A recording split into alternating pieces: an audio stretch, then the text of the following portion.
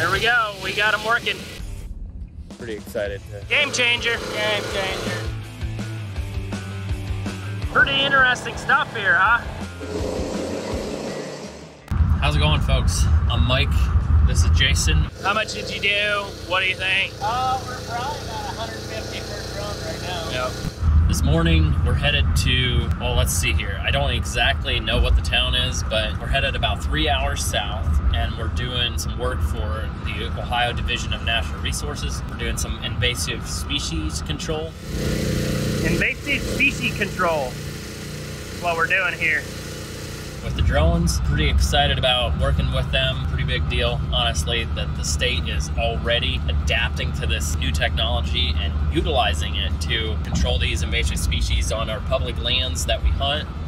I guess we'll see what we get into. Had to go to the gas station in the morning, get us fueled off, topped off, got the generators filled with gas, diesel in the truck, and we should be good to go. But stick around, should be good. If this is your first time here, make sure to hit the subscribe. We're gonna be showing you guys some really cool content on using drones to spray. Basically, there's so many things that you can do with these that is really unlimited what you can do. And then you can also use them to spread seed, so do cover crops and that type of thing. But yeah, stick around, hit the subscribe. Hope you guys follow along. Should be good.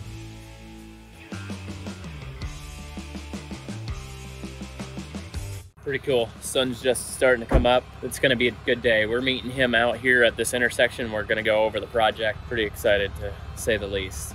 Should be a good day. Beautiful out.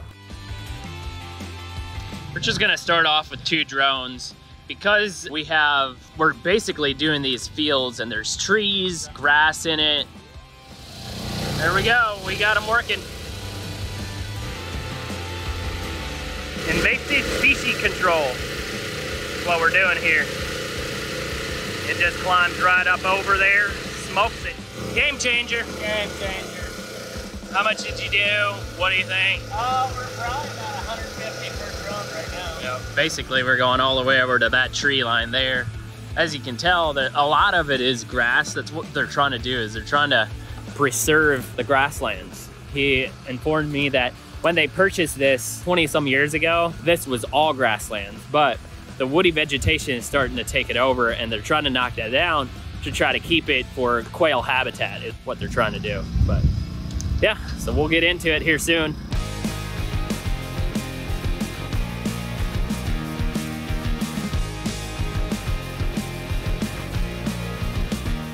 It's still working.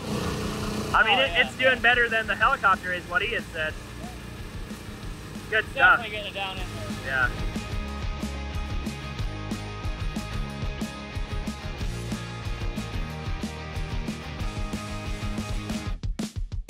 We're uh, wrapping it up for today. It was a tough one, honestly. Like that was some of the toughest stuff that we've sprayed in a long time. The terrain was hilly.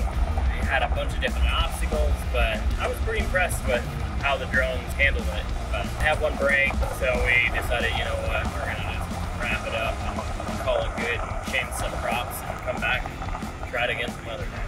So that's it. That's all we got for this one.